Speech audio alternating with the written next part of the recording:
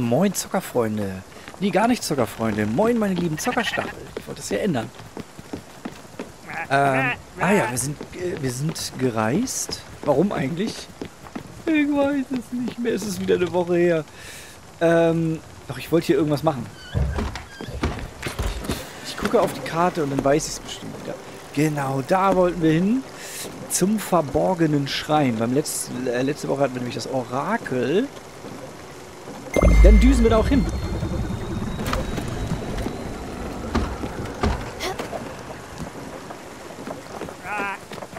Rap, rap, rap.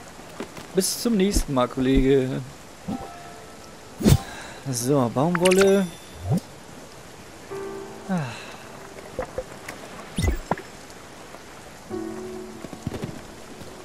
Es ist zu dunkel zum Navigieren, das ist aber so klar.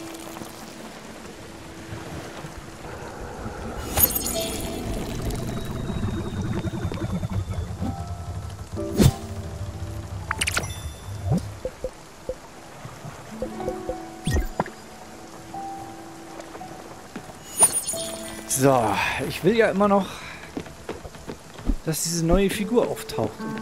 Alle sagen, die steht bei mir hier oben. Also jetzt auch in den Kommentaren. Ja. Bei mir nicht. Aber wie gesagt, es soll auch erst sein, wenn man am Ende ist. Also...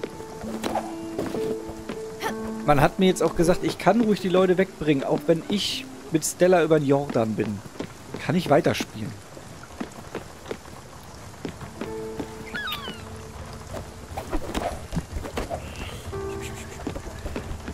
Also müssen wir das machen. Wir gehen erstmal pennen, weil die andere Alte taucht hier ja nicht auf. Warum auch immer.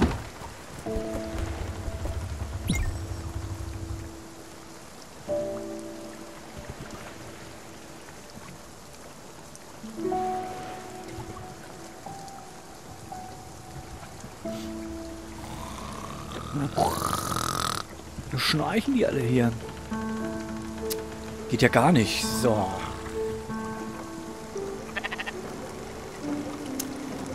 Die Nacht ist vorbei.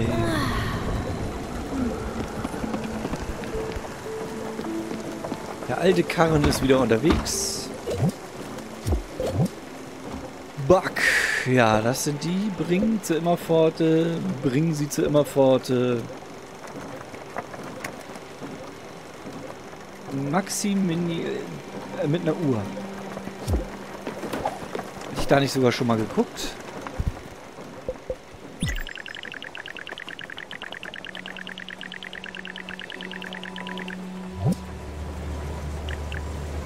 Ich brauche eine Kristallglasplatte und das war's. Ja, komm, das machen wir eben nochmal schnell. Oh. Verborgener Schrein entdeckt. Uh.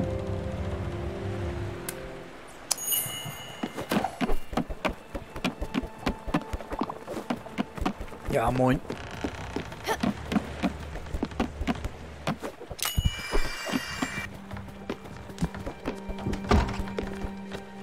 Wegen einer Platte wollen wir ja hier jetzt nicht Vor allem können wir dann in dieser Folge vielleicht auch noch erleben, dass Gustav nach Hause möchte, also immer Pforte. Und dann bringen wir die einfach nach und nach weg. Und hoffen, dass wir dann irgendwann Lilly sehen. Und dann soll ja im Sommer immer noch ein Update kommen. Also, also im Sommer und im August. Das ist ja eigentlich auch noch Sommer, ne? Oder?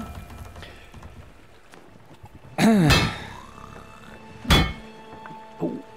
Aber ist ja auch egal. Ich habe mir nämlich schon überlegt, wenn wir zum Ende kommen, zur Not beende ich das Spiel nicht komplett, aber wie gesagt, ich darf wohl über den Jordan gehen. War jetzt so meine Idee. Ich, äh, falls es doch nicht funktioniert, beende ich das Spiel einfach nicht, sondern pausiere es einfach, bis die anderen Updates kommen. Aber es ist einfach ein geniales Spiel.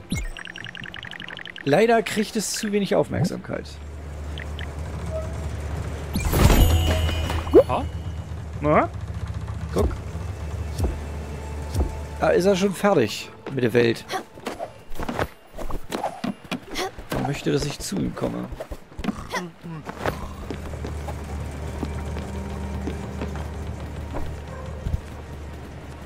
Aha. Da bist du ja. Ähm, voller Stolz und mit unbändiger Freude präsentiere ich dir Aha. Vermächtnis der Menschheit. Meine bis dato erlesenste Ausstellung. Nicht übel, findest du nicht auch? Eine offizielle Eröffnung. Aha. Oh nein, nein, nein. Du kennst mich doch. Ich stehe nicht gerne im Rampenlicht. Außerdem sind für Vernissagen keine reine, äh, reine Zeitverschwendung. Nur eine Gelegenheit für Funktionäre herumzuwuseln. Und sich gegenseitig in den Hint... Ach, du weißt schon, was ich meine. Aha. Nun denn, ich vertraue dir alles an. Ich weiß, dass ich auf dich zählen kann, wenn ich einmal nicht mehr hier sein werde. Aha. Oh, tu nicht so überrascht. Du weißt genau, dass ich nicht länger als nötig hier bleiben werde. Und ich bin mir ziemlich sicher, dass ich alles vollbracht habe, was ich hier tun konnte. Aha. Der gute alte Gustav blickt immer nach vorn.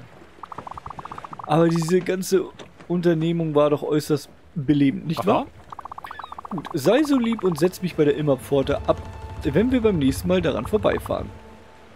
Ich weiß es zu schätzen. Okay, machen wir. Das Ding ist, ich konnte sie, glaube ich, nicht so wegbringen, wie ich wollte. Oder war das doch nach der Reihe? Hab ich schon wieder vergessen, ne? Warum vergesse ich immer so viel?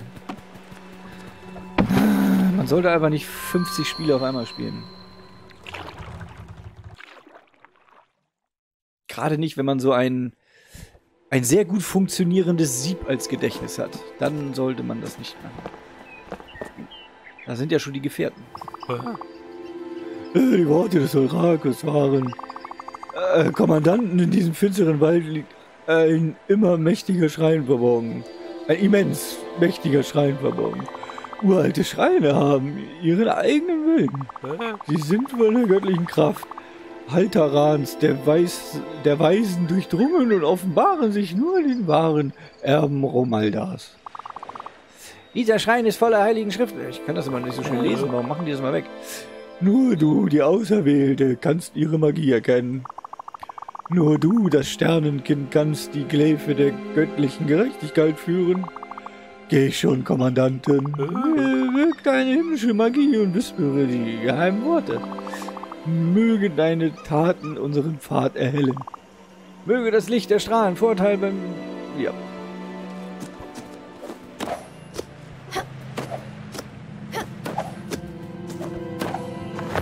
Ihr seid einfach zu faul, hier hochzulatschen. Das ist alles... Aha. Lichtexplosion. Drücke ZR, um immer Lichtenergie in alle Richtungen um dich herum auszustrahlen. Erwerben.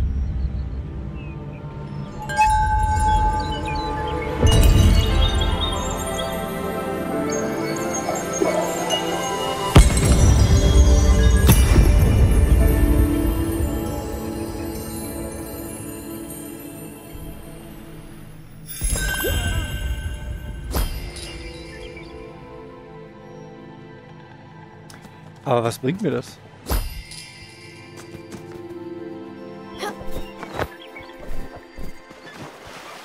Nicht viel wahrscheinlich. Gesegnet seien die elf Sterne. Du bist wahrhaftig die Auserwählte. Die Trägerin des Lichts. äh, Die Bringer der Sonne. Die, die unsere Seelen erleuchtet und den schattenversunkenen Bewusstsein befreien wird. Diese Macht, die dir durch die reine Essenz dieser Welt gewählt wurde, soll unsere Waffe sein. Eine Waffe, deren Stärke der dreifach geschmiedeten Glefe Efeldurs dem ersten Dalaren gleichkommt. Doch nun muss diese Gruppe getrennte Wege gehen. Die Silberkompanie hat ihre Rolle erfüllt und für ihre Mitglieder ist die Zeit gekommen, nach Hause zu reiten. Außerdem ist für die Jungs schon lange Schlafenszeit. Lasst uns zur Galeone zurückkehren, wo ich unsere nächste Aufgabe detailliert und mit Hintergrundinformationen darlegen werde. Außerdem muss ich mir meine Notizen nochmal ansehen. Ja, äh, ja. War's das wirklich? Was? Gut, wir haben eine neue Fähigkeit.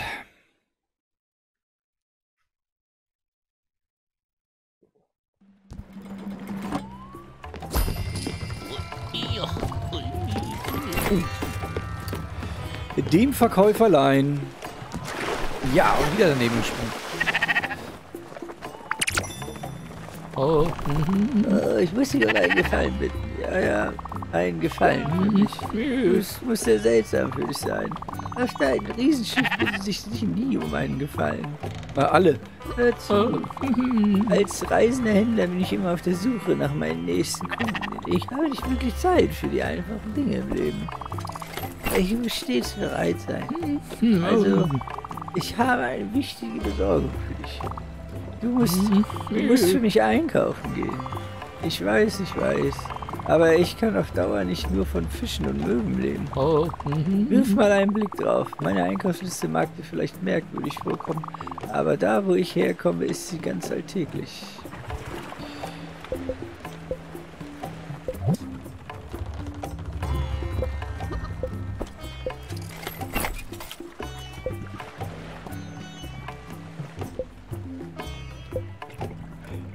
Das ist aber nicht seine Einkaufsliste, oder?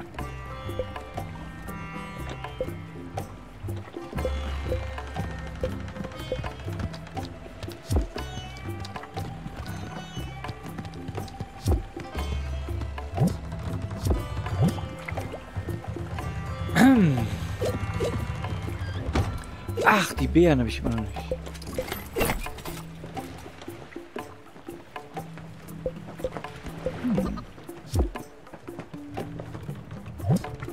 Hier was Neues?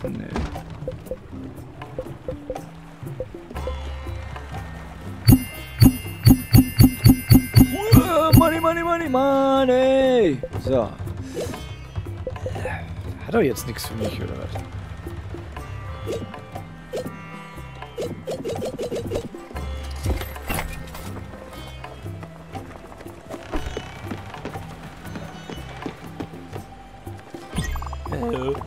Kommandantin, ich habe leider düstere Neuigkeiten zu berichten.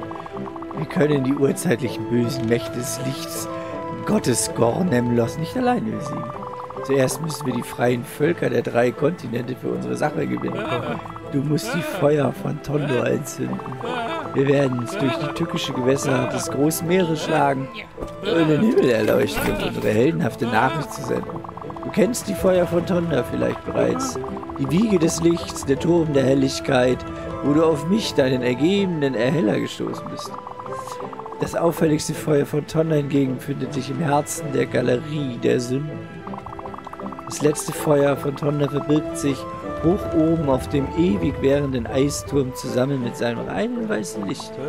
Jedoch, Kommandantin, dir muss bewusst sein, dass unser Weg alles andere als sicher sein wird. Ich müsste für die großen Gefahren durch die Orks des Schattenstrahl-Clans Clans warnen. Ihr Meister, der Kriegshäuptling Omro, Omrotok, Einauge, ist Gorn Nemlots Knecht. Die Orks werden sicherlich jede Gelegenheit nutzen, um in den Hinterhalt zu locken. Um genau zu sein, schnell, Würfel, Initiative. Eine Eins, wie ungeschickt. Ein Überraschungsangriff, die Orks stürzen aus dem Schatten und brüllen schauerlich. Der Schattenstrahl-Clan wird eure Gedärme verschlingen. Ruf Gomgotha, oh, der Orkfürst. Macht sich bereit. Aber, Kommandantin, einige unserer Widersacher werden von Gorn Nemlots schändlicher Magie beschützt. Nimm deine Lichtexplosion-Fähigkeit. Mit, nur mit deiner Lichtexplosion-Fähigkeit kannst du nur diesen Schutz erschmettern. Möge die Schlacht beginnen. Ah.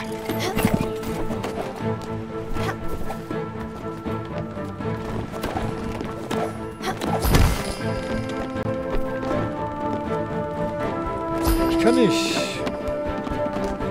Das dauert voll lange, bis es hier irgendwie mal.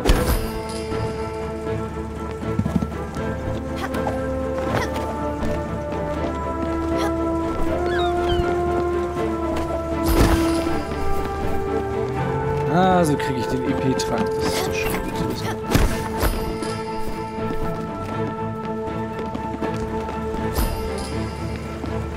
Mist.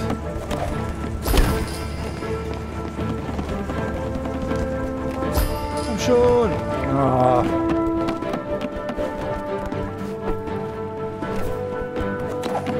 Das ist ja ein Scheiß hier.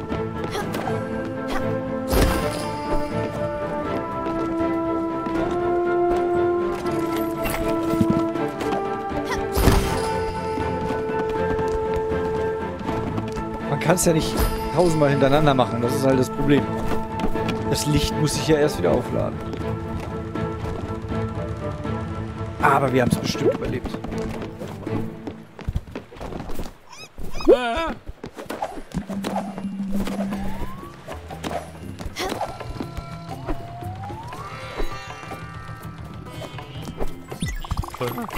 Kongoda, verwundet und besiegt, kriecht durch die Trümmer und stiehlt sich vom Schlachtfeld. Ich werde zurückkehren, stärker und grausam. Mit einem Kreischen verschwindet der geschlagene Ork aus den Überresten der Schlacht. Das war erstaunlich, Kommandant. Du verfügst über außerordentliches Kampftalent. Aber wir haben keine Minute zu verlieren. Tief in den Höhlen sammeln sich die Orks des Schattenstahlclans erneut und planen ihre Rache. Schnell zu den Feuern von Tondor. Okay, jetzt muss ich die ähm, Dinger da, die Türme.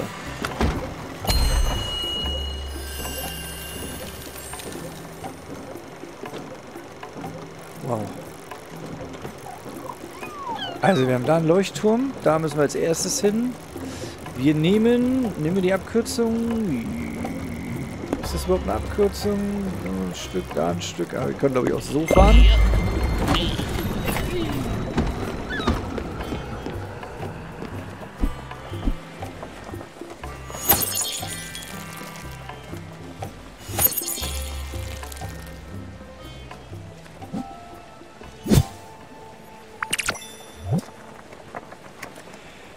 No.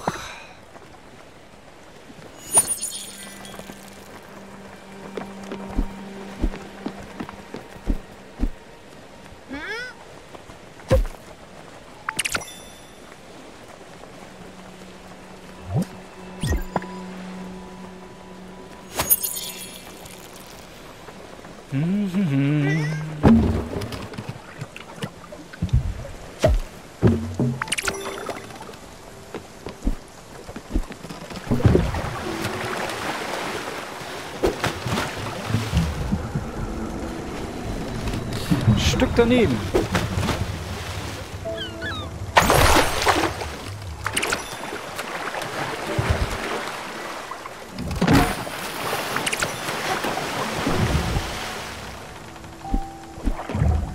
Falsch. Ich muss das mal eben zu Ende machen hier. Uh, Zwiebelsachen.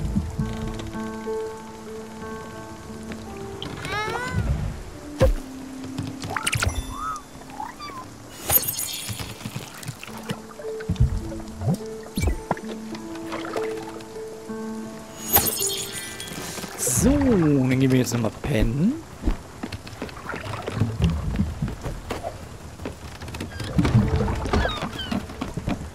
Zwischen den ganzen Gelumpe hier.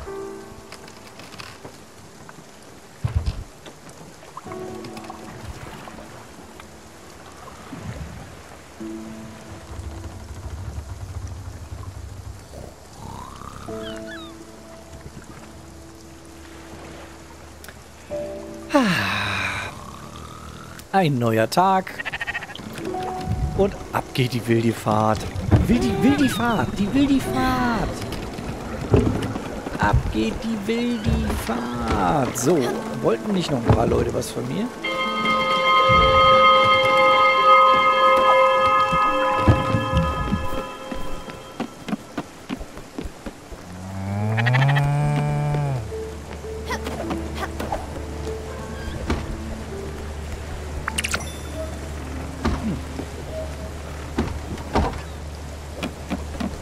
War der Meinung, Gustav wollte irgendwas.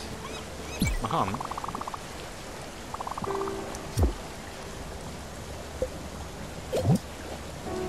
Aha. Er hätte lieber was anderes. Ich auch. Aha. Aha. Alter. Aha. Wir hoffen. So, wie war das jetzt? Nee. Nee, alle zur Immerforde jetzt.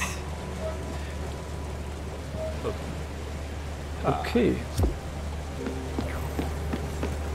Alle wollen sie zur Immerforde. Das, ja, probieren wir, nachdem wir die Leuchtfeuer angezündet haben, würde ich sagen.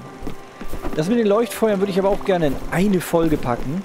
Das, das passte gerade so gerade alles so schön mit diesen Geschichten hier. Einmal das Orakel und die Gefährten und so. Äh, dementsprechend würde ich sagen, bedanke ich mich einmal fürs Zuschauen und wir sehen uns dann auf jeden Fall in der nächsten Folge.